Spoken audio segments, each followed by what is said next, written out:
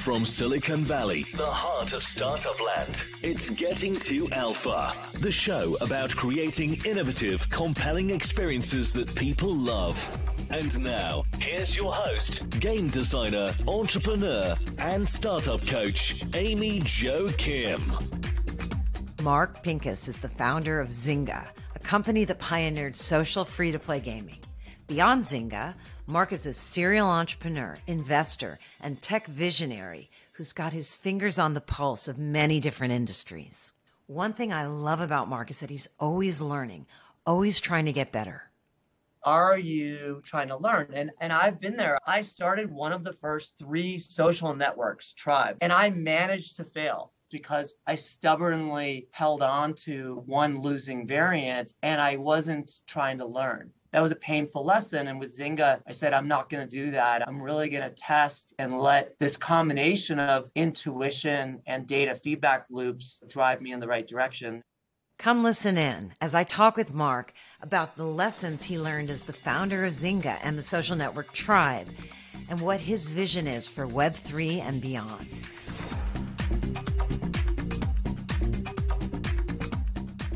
Welcome, Mark, to the Game Thinking Academy.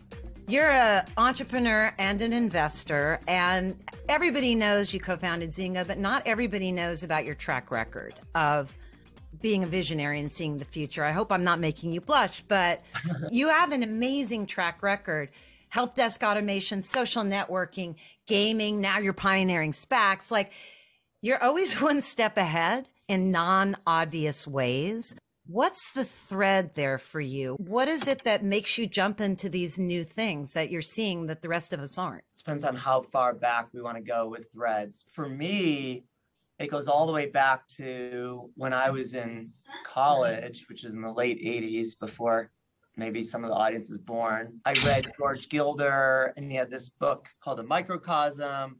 And he said the next 50 years are going to be about building out everything inside the world that, that we can't see, and it's the microchip and the network. And I got really into it. And I said, that's what I want to do, not the technology part of it, but thinking about how do we make all of this technology useful in people's daily lives. And that became my career passion. I went to work for John Malone at TCI and Liberty Media because I thought cable companies were the super tankers and in the best position. And I worked, it used to be called New Media, which was like the flake department. And then the internet came along, and a bunch of us were like, oh, now there's something quasi real. It still felt like a hobbyist thing. But I said, okay, now there's actually a way for this to get to someone's desktop computer and matter. And I'd say my career started when I became a product manager. So I worked at a venture capital firm in DC and I became a product manager at a company that they invested in called Spaceworks. That was the first real day of my career, my career learning and progression was I love the job of a product manager of having to bring all the pieces together and connect all the dots between your engineers, your end users, your business constraints.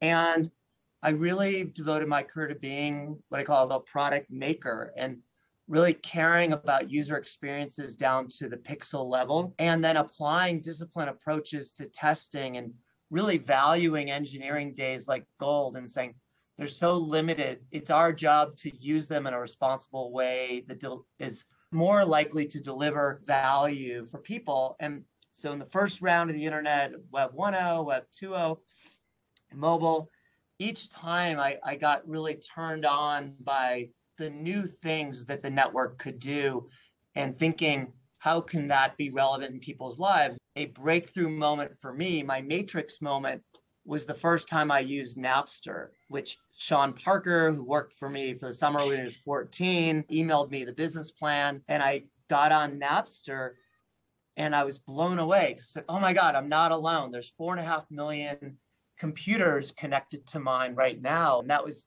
for me, the beginning of very early beginnings of the social networking revolution, but a lot of years earlier. So that also led to me getting excited about investing in other founders and entrepreneurs where I thought they were early onto amazing new products and, and thought I could help. And so I try to be kind of full stack product person and a full stack investor and be thinking all the way from a product experience to public markets. I love it. So, what you said about Napster being early really reminds me so much of what's going on in crypto. And we could go down a two hour crypto rabbit hole, no problem. Yes. Yeah. But let's keep it tight. I would like your thoughts and take on crypto in general because everybody, let me start by saying everybody's trying to figure it out all around me here in Silicon Valley. People are working in and investing in and talking up crypto. And there's also tons of scams. They're just right there. And it can be a really tricky landscape to navigate. So, as someone who's got your perspective, what do you see? So, first of all, if I backtrack for a second um, before I say what I think is interesting about crypto, for me, every time there's been a next generation of this network platform, there's been an opportunity to invent new, what I call internet treasures. And John Doerr coined this term for me of an internet treasure, and it's a service we can't remember life before or imagine life without. And in the first iteration ended with giving us Google, which I think we'd all think of as a quintessential um, example of an internet treasure. And on the next generation, we got these social services, Instagram to Facebook to WhatsApp. We can debate how treasured they are at the moment, but I think people just rely on them. And now we're at this um, juncture of this, what some people are calling Web3, some people are calling metaverse. And first of all, I, let me just tell you how I define my criteria at a consumer level. How do you decide is this going to happen? Is this the next platform or not? To me, and this is the way I try to describe it to my mom or you know people who don't care about technology, it needs to deliver a 3x improvement in productivity. So in the beginning, we love it because it's cool and new and emergent. So a lot of us fell in love with the web and played with it. And we tell our friends and family, it's going to be amazing. And they'd roll their eyes. And then eventually it actually delivered. And we saw the same thing, whether you think of Web 2.0 or the social web. And for sure, we saw that with mobile. I think that was the easiest to see the, this bar of a 3x improvement in productivity. And I believe that we are going to get there with this new decentralized internet. And in, in so many ways, it's going back to where we were with Web 2.0. Web 2.0 was open databases, it was decentralized API services that developers could mash up together and dynamically deliver new services for end users very quickly. And that's where Zynga came out of. It was a quintessential product of the Web 2.0 platform. And I think it was a 3x improvement in productivity, even though you might not think of that for people playing games because it was free. It was much more accessible. It was three clicks and you're in, and it was immediately social. And I think that led to mass market adoption of gaming, which obviously mobile multiplied that even, magnified that even more. And now, in a lot of ways, to me, the power of this metaverse is getting back to that decentralization of services, of APIs, and the ability to innovate and test. And I feel like we've gotten off of that path. I feel mobile has frozen all of us as developers and users in this fragmented state that it's nearly impossible to connect all of these apps together for developers or users. And what excites me most about the metaverse is not the the version of Ready Player One that's the VR immersion side of the sci-fi future. It's the speed. When I think of the book Ready Player One, the magic in it to me was the idea that you could just talk to some agent and amazing magical things would happen. And so much of it is can we automate these functions in the digital world that affect our lives, our real lives in the analog world? That's the magic of Uber, of Airbnb, of so many of these services. My yeah. example is my daughter, Carmen. She has been working all through the pandemic on her own fashion brand that she calls Comfy Fancy. And the idea is to build, to create sustainable, fast fashion for girls, designed for girls by girls. And she calls it comfy fancy because that's what she wants. And it's daunting for her and me to build that online today. The number of steps to figure out a trademark and a website and help on design and manufacturing and supply and prototype. But there's probably three or four hundred steps that I think could be massively automated. And that's just to get to the product. I imagine a day in the metaverse where some other girl is going to have her own version of Aviator Nation and she's going to franchise her store out. And without ever meeting Carmen, she's going to drag and drop Carmen's cool new Save the Reef sweatshirt into her store. And another girl's going to find that store somewhere and drag and drop the sweatshirt which might even be numbered, limited edition, NFT, whatever, into her backpack. She'll wear it on her avatar and it'll get mailed to her house. And none of them will actually ever meet unless they want to. That would take a lot of steps to make work today, but it's all possible from a technology standpoint. It's just, I think, at a system level, it hasn't been architected for that to easily occur. That's fascinating. I love your perspective it's really interesting. Everybody's got a different definition of the metaverse and what's important in it, right? Yes. And but what your perspective locks in on is uh, the economic and increased throughput and accessibility layer of it. And so many things are driven by the economy. The big hit Axie Infinity, which I'm sure you're aware of, right? Yes. To me, I look at that and it's like some game devs are like, oh, we could do better graphics but they're missing the point. It's the economy yeah. going on in there that's really interesting. Yeah, I, I was lucky enough to be um, amongst the first investor in Dapper Labs when CryptoKitties was blowing up. You could look at it as so primitive at a technology level or at a game design level, but it was just so innovative to be the first NFT really that and it captured the imaginations of, of so many people. And it's fun for me to see people combine all these things and play with it. And and we're just in a massive time now of innovation and playing with things. And so I, I think the rate of innovation right now is incredible. And out of it i think we will answer this question of the productivity gains. That's interesting. So you invested in dapper labs with cryptokitties.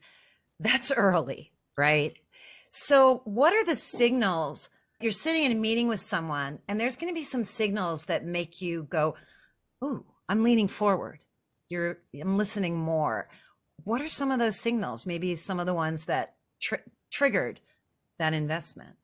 Well, there's really the best, easiest, obvious ones are they've touched a nerve that you can tell that they've hit some new vein. And that was when I invested in Napster or Facebook or Twitter or Dapper. In each of those cases, I saw this flame lit and that they capture the imaginations of a lot of users. So that's the first.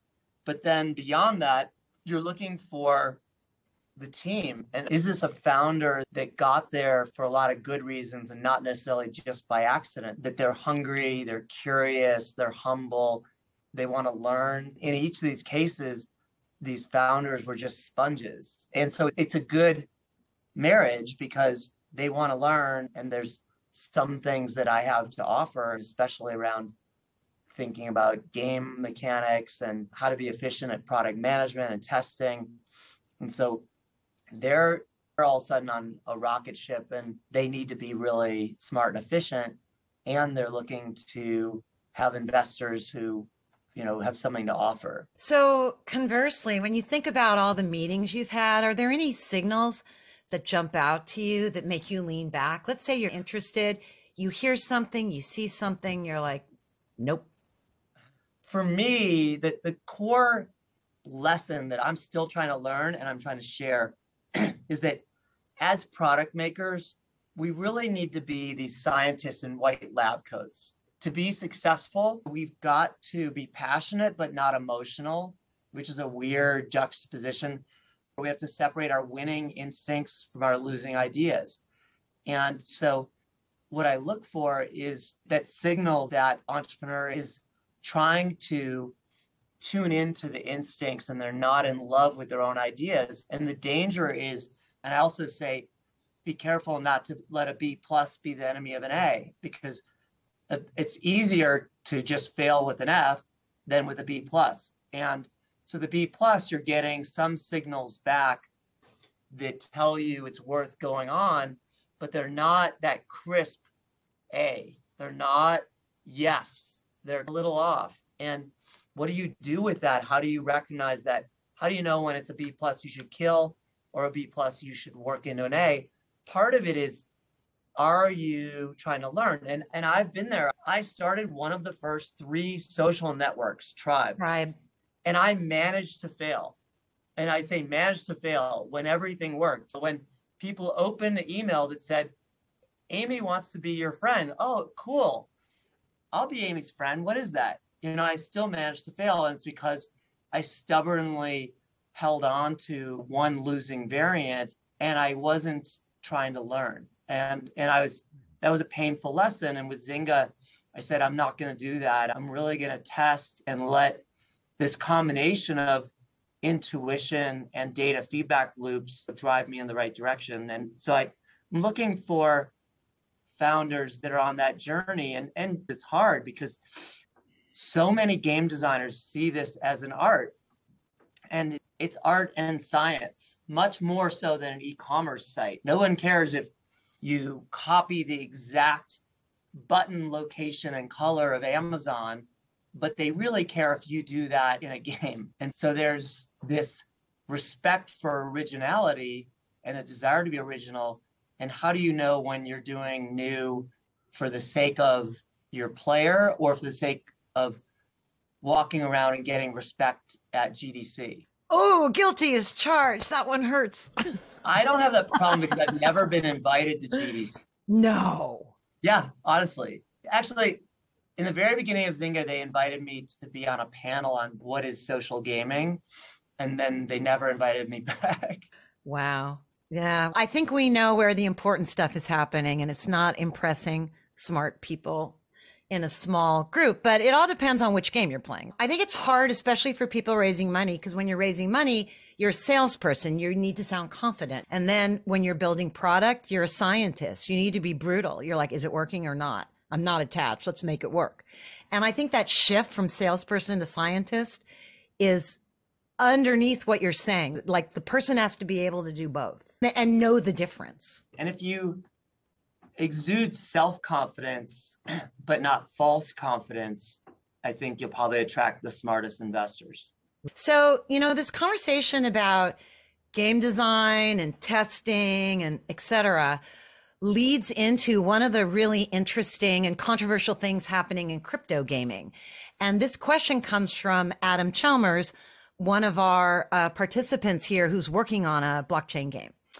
This question is about the emerging trend of collectibles first gaming, objects first gaming, right? Loot Project is the high profile example of that, but you see a lot of other examples and touch points. What do you see? What are your thoughts on this? I'm fascinated and I'm trying to learn as well. and I think we're all learning with what we see in the market. And I think on the one hand, we see a lot of old game mechanics working in a great way. And then I think on the other hand, I think that the buyers and investors in this market are increasing in their sophistication very quickly. And so we're starting to already see different value in what you're collecting. And there's collecting for the sake of the art, the scarcity, the collectability of it.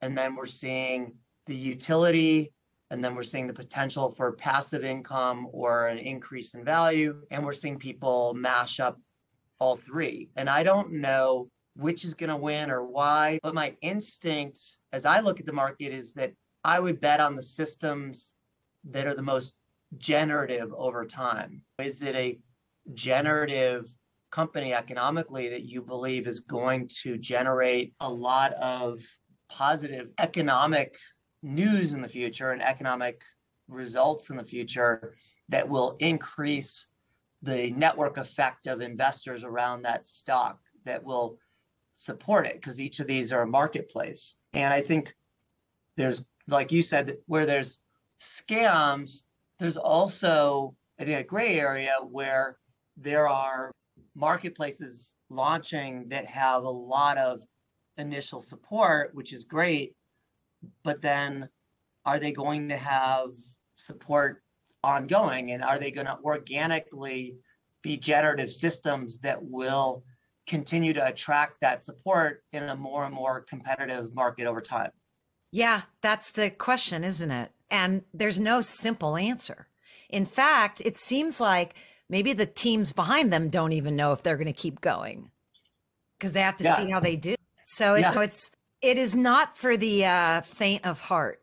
This market. One of the things that's so iconic about Zynga is the way that you figured out how to harness virality, for better and for worse, navigating that. And now there's something very similar going on, but different in crypto, which is how you build a community that's interested in your project, essentially, right? Before maybe right, right. largely before I see a ton of that. Do you see that too? Yes. Yeah. And then you have this great product management background and like goggles to look at the world through. So, how do you now think about driving virality, having been through Web 2, run through all the experiments that you ran through at Zynga, learned what you learned? You're bringing that now into your advising startups and your investing. How do you think about that? And how do you see like current best practices or just interesting ideas on the horizon? The, the playbook is always changing and evolving.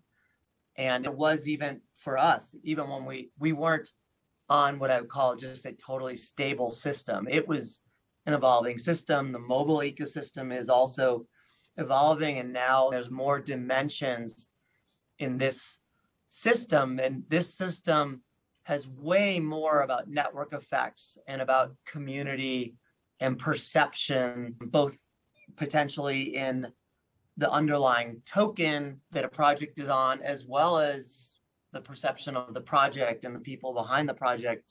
You get a lot of false signals. So you're deconstructing and trying to figure out what what works, why is it working?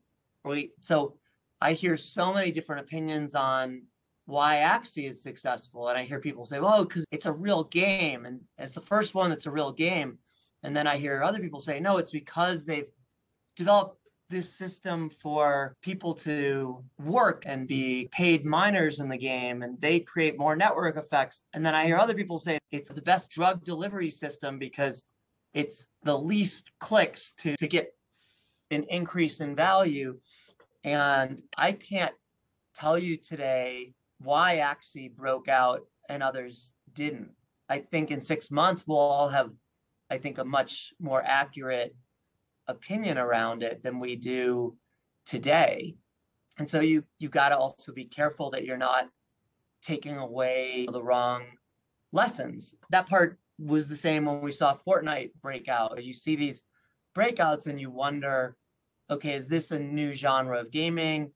It kind of was not. We didn't see 10 other Fortnites. Same with Minecraft. Same yeah. with Among Us. Remember when like everybody yes. was going to copy Among Us and now they're all like, oops. Yeah. and, and it's definitely the idea of fast following and, and just copying something is going to be much harder to make happen in this market because there's so many other parts of the playbook around community and perception. The one thing that was true, I think, in the beginning of Zynga, and it's been misunderstood. And I see it as a thread, a through line to today is that you grow through retention, not virality. And I responded to Chris Dixon or somebody on Twitter the other day and I said, it's a sinking speedboat and you decide whether to drive faster or bail out water faster or try to fix the hole in the bottom. And fixing the hole in the bottom is what drives the long term value. And it turns out it's where you're most aligned with your players too. So if you can try to build products and systems that feel forever, and if the, the player feels like you have a, a long term commitment to it and you give them a reason to want to invest in it and now they can own part of it, you're most likely to get retention, drive long term value. And oddly, it's what drives the internet treasures. I look at the day 365 retention, and an internet treasure probably has a D365 of north of 90%. And if it's north of 30%, you end up with a Twitter, you know, or a Snapchat. And if it's north of 10%, you end up with a Candy Crush Saga or a World of Warcraft or a Words with Friends. And those are forever franchises, even at 10%. What encourages me about where we're heading is that clearly when someone feels invested and they feel ownership in the game and in the community, they're more likely to be there in a year. And it's a self fulfilling prophecy. Love it. I love everything you just said. So, if you folks in the audience have questions, type them in and we'll get to you. We do have a question that came in from Chris, one of our students. He wants to know about the relationship between in-game analytics and strategic thinking. And boy, are you the right person. says, did your in-game analytics help your strategic thinking? Did they ever get in the way? What do you know now about using in-game analytics you wish you'd known earlier? Sure. That's a it's a great question and one that I could talk about that one question for a long time. Yeah, it's you live and grow by the sword and then you die on that same sword and that's that Zynga was a victim of that. That we were a victim of our own data and analytics, and and the one muscle that I wasn't able to really replicate and teach across the company was intuition and knowing which data to listen to and which not to. And I'll give you one example of the way we got it wrong is when you misread the the short term data and and you don't listen to your own intuition we had a game called Yoville and we created this bakery and the bakery used the farmville harvest mechanic and said great it's an appointment mechanic and if you commit to be back at the same time tomorrow at the bakery we're going to give you a lot of coins so in the short term it increased engagement and we saw more and more users coming back on the next day and it looked great. But then over time, after a month or so, we saw the long term retention going down. It's because it wasn't fun. It, it was all of a sudden another job. And that's where we have to be careful when we look at systems like Axie. We may fall into that trap where we create a job for somebody, literally, that's not fun. And as soon as it doesn't pay well enough or even if it does, they leave. And so we constantly have to triangulate between our own intuition and experience with that game and what the data is telling us. And we can go the other direction would be wrong that we feel great about something, but the data says no one else does. The best is when it all lines up together. And for me, the biggest hits that we put out at Zynga were the ones that had amazing data, and I was addicted to the game. So I was addicted to Farmville and Cityville and Words with Friends, and the data played out. Another way that I try to encourage my teams to think about it, at least to follow me, because people will accuse me of coming in with a totally different idea every Monday. And in my own defense, I say, let's make sure we're, we're talking at the same altitude. So sometimes we're at 5,000 feet and we're deep in the data and we're talking about our D1 retention and what's our ROAS on whatever, payback on our ads. And then sometimes we want to go up to 25,000 feet. And to me, that's at a product strategy level. And now we're thinking at a bigger level of our roadmap and where is this getting us over time? And is this in line with where we want to go? And then we could be at a 50,000 foot or 100,000 foot level. And now we're talking about, okay, does this line up with our overall objectives and vision and of where we think the market's going? And I think it's important for teams that are bigger than two or three people to check in on what altitude you're at because you can get to the wrong places because one person's talking about data loops at a 5,000 foot level, and another is talking about company strategy. Oh my God. I'm so guilty of that. I get an idea and I want to tell everybody, but we try and have a meeting once a week where we talk strategy and channel it into that. I don't know if you do anything like that. Yes. And I also have to constantly preface things by saying, I want to be clear that I'm giving you feedback right now, not direction, or this is a brainstorm, not direction. And we do everything in Google Docs, which seems to be the best enterprise software I've found. And and we say, what is our plan of record and is that changing? Because my teams are amazing and they will change the product plan based on me arguing passionately for something. But I'm saying, wait, wait, that's not the plan of record. And we have another question that came in from Adam. And this is about a talk that you gave at Village Global. It's on YouTube. And you use this term, go after bold ideas, but design in early bold beats where you can discover how players are responding. I want to dig into bold beats. What are bold beats? Okay. So bold beats, and, and I also I don't know if I should have been invited to do this, but I gave a talk at American Express to their top 50 managers and their board of directors. And what, what I talked to was I said that we find ourselves in every size organization, product organization, as a product leader.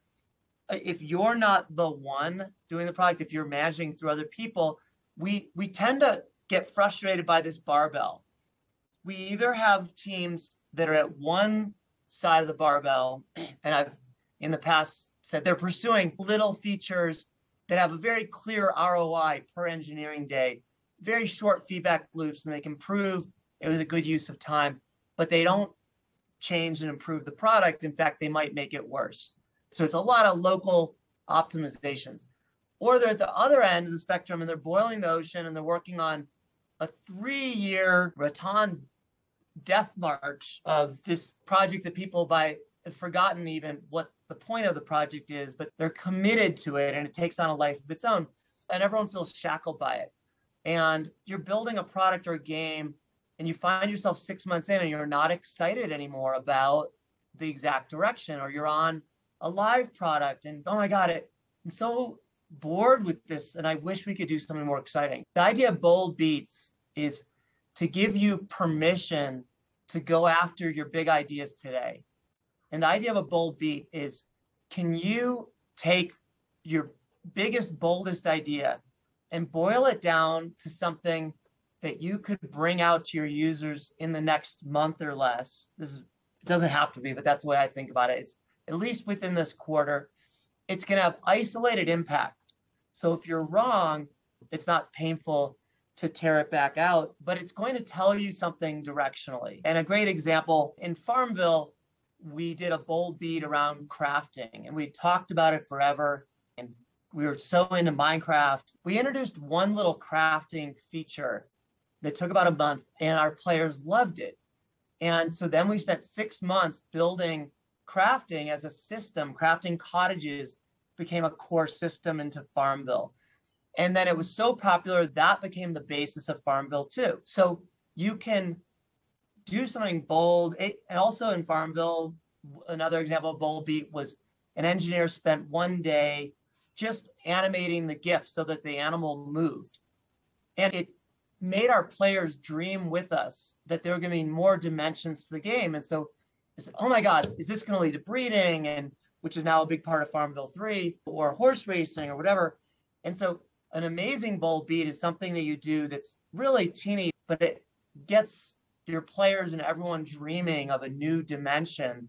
The power of a bold beat is it's it can make your team move much faster because when you get that level of feedback loop from your users that you saw at work, it's like just pouring fuel on the fire and your team all of a sudden is so excited that the rate that you move towards this idea might be 10x faster. It almost sounds like the bold beat in its ideal form is an MVP for a potential new system. Yeah. It's a way of testing an idea, usually in an already live product. And yeah, it's it gives you an advantage if you're an incumbent in the market and you can test these ideas, you're not in a vacuum. And someone else competing with you is in a vacuum. And they, especially in games, they spend a year or two speculating on, on what players are going to want. And you're able to be in the market trying these big ideas. And when you get it right, and sometimes we got it right, this is going to sound hokey, but it's almost a religious spiritual experience. It's a feeling of grace, it's a feeling of communion with your players, especially making social systems. I've had players hug me because they just loved something that we did. And if you get it right, you're getting to surprise and delight. We get so jaded, and especially in games, a bad relationship. You're just you open the game, you know exactly what's going to be. I I feel like I'm a cog that they're moving around, and I know the plot line, and it's not fun, and there's nothing new. Like a bold beat is a positive disruption, and it's so fun when you do it right. When to really just deliver something my friend Bing Gordon calls an OMFG moment. I can't believe that they just did that. And it's like breaking some rule in a great way that your players love you for. I love it. Oh, that's so cool. That's really inspiring. So we got a bunch of questions pouring in, and I know we're um, definitely get committed to stopping at the hour. But Amir, who is working on uh, blockchain products and is joining us from Russia, asks Are there any lessons, Mark, that you've learned from building tribe.net that would still be relevant today for those who are looking to build a new social network? Wow, yes, there's so many. You want to give yourself this gift of a time machine. What if, Amir, you could go forward in time two years or backward in time two years? What if Amir 2023 could come back and talk to you today and say, dude, I've got some good news and bad news. The good news is you were right. The world did want another kind of social network that was blockchain, blah, blah, blah. The bad news is you were slightly off. It was a B plus, and your variant didn't make it. It just it didn't. The dog didn't hunt. What would you do with that information today? Would you just go on and say, okay, I'm just committed to this path? No, hell no. You'd say, great, I'm going to try four other variants and I'm going to increase my frequency tuners to what other people are doing. And I'm going to spend the next two years moving my ability to execute on this, not just my execution. I'm going to be, I'm waiting for someone else to get the variant and show me the way. What is the breakthrough here? And I'm going to test a bunch myself, but I'm going to use everyone else in the market as part of my crowd-based learning and R&D. And it turns out if I had done that with Tribe, I think I would have been far more successful. If I said, okay, MySpace is a different variant and Facebook is really going deep on trust. So I'm going to build a different variant that is all about trust and .edu or inside the .com of your company. So the first lesson to me to take away from that is to think about what you're doing in terms of your ability to execute and your ability to test and try lots of ideas and get your team thinking that way as well. The second lesson, don't be too complicated. I was too complicated with tribe. As part I have pretty extreme ADD. A lot of product makers do. And I love all my ideas equally. And, and it's so hard to just pick one of them. And I'm like, but how can I not do these other ideas? And with Tribe, I did so many more ideas than Facebook or MySpace or LinkedIn. They were all in Tribe. I had, you had a professional profile, you had a social personal profile. The tribes had threaded message groups, and each of those could have been its own whole product or industry. We were before Reddit, but I couldn't go deeper than an inch on any of those ideas. So those are, you know, two lessons. And I, to this day, literally yesterday, I said to my team, let's make sure that we're not doing tribe on our next product. That's incredible. Oh my God. That was so valuable. And again, been there. Deep breath. So Maurice, who's working on a really incredible uh, location-based product, asks, when has a bold beat gone wrong for you? And then how did what did you do? How did you recover? Most bold beats fail. Most okay. new things fail. And what what we try to do at Zynga and, and Frank and team, they've still do to this day is they try for every team to launch at least one bold beat a quarter on their product roadmaps. And I think that's a good goal that's very achievable, even though the bold beats may not break through. I think it's more inspiring for a team that you want them to try. I'll give you off the top of my head, probably the the worst bold beat I can think of again was in YoVille. I'm not, not trying to pick on YoVille. We had this bold beat idea in YoVille that you could get married or you could have a an avatar child. So Amy and my avatar could have a child together. And there was a lot of heat and interest around it, but it just, it, it was a little weird. It just was like maybe flirty in ways you don't want to be flirty and a little just awkward. So we killed that. That's an incredible story. So you guys just you put it out there and then you got the you got the feedback this is a little creepy and then you just pull back what'd you do you... yeah it's really important when you launch a bold beat that we take our users with us in terms of their expectations and that we don't launch it in a way that they feel this is a new permanent feature because the other problem you have is inevitably 2 to 5% of your users actually like it and don't want it to go away and they're angry at you when you take it away. There is an art to this. It's great to call this beta. It's also great to say, hey, we're beta testing this. Do you want to opt into this beta test? And take them with you. The truth will set you free, and, and the transparency of just saying, we're trying out this new idea for a month. Do you want to be part of this experiment? More people actually want to try it that way and they want to give you feedback and they're more forgiving of you. Wow, that is great advice. Awesome. So thank I'd you. like to invite everyone to turn on their cameras so we can thank Mark and let Mark see us as well. Man, this is so fun, Mark. And feel free to email me to at super.io, M-A-R-K. And I, I, had this policy at Zynga that I responded to every single email employees sent me. And I, I still try to live up to that. And at times I I don't achieve it. I get emails and people say, I loved what you said. Will you mentor me? And, and can we have one on one time to help me on my business plan? And I've learned that's not a high leverage way for me to help people. But, you know, email me. I, I try to answer questions and redirect towards other people who can be helpful. So I do my best. Thank you so much. I'll share all of that. We do have one last question, which is a deep question, but again, just getting a quick perspective for you would be great. What do you see as the main advantages of decentralization versus centralization? I think you touched on it, Mark, when you talked about speed and automation. Yes. Is there, so you nailed that. There's a lot of stuff being decentralized that shouldn't be. Is there anything that really nails it that, oh my God, yes, that should be decentralized? I think that we got to get to smaller, easier beats on innovation.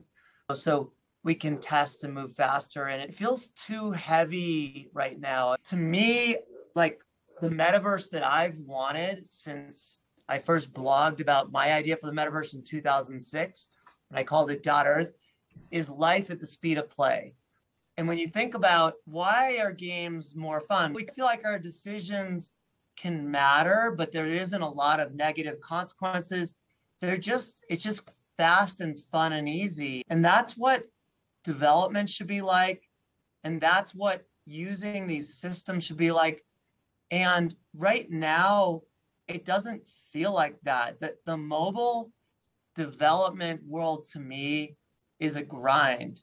It just it feels a lot heavier than when I was starting Zynga and I could just in a couple weeks put out an app and test it on a Facebook Canvas page. Look, there's these monolithic apps like the photo app. Nothing against Apple, but Apple is not going to be able to come up with all of the cool new ideas that we should have around photos in a time frame that's going to help us. I think that the photo apps just suck. I don't know about you, but every time I want to show pictures of my daughter Carmen surfing, it's like I have to trick the app.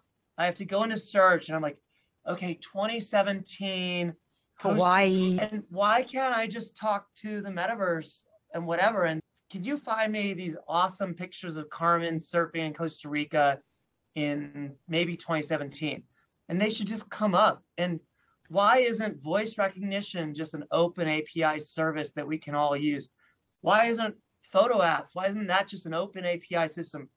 Everything should be open API systems that we can all play with and mash up and try new things with. And it just frustrates me. Life at the speed of play is about the shortest time from your idea to other people. How do I make it short and fun in terms of the cycles to take my idea and get it out there so that other people can consume it and tell me if it's worth investing more in or so I oddly feel like our this mobile app ecosystem has massively slowed down the rate of innovation. There's no question on social between Facebook and Apple and Google.